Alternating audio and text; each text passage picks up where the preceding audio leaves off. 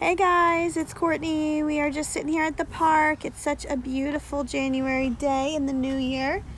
The kids go back to school tomorrow, so we are just enjoying the last bit of sunshine today.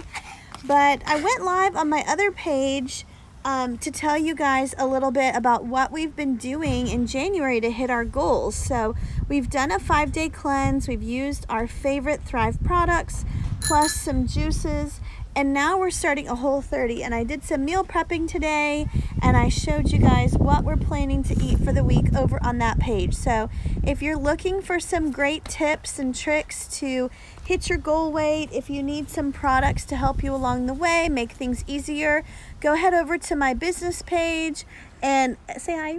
Hi. Hi we're gonna go continue our little bike ride and just soak up the sunshine, get some activity points in. But I hope you guys enjoy. And again, if you need some help hitting those goals, we're here to help. Mom.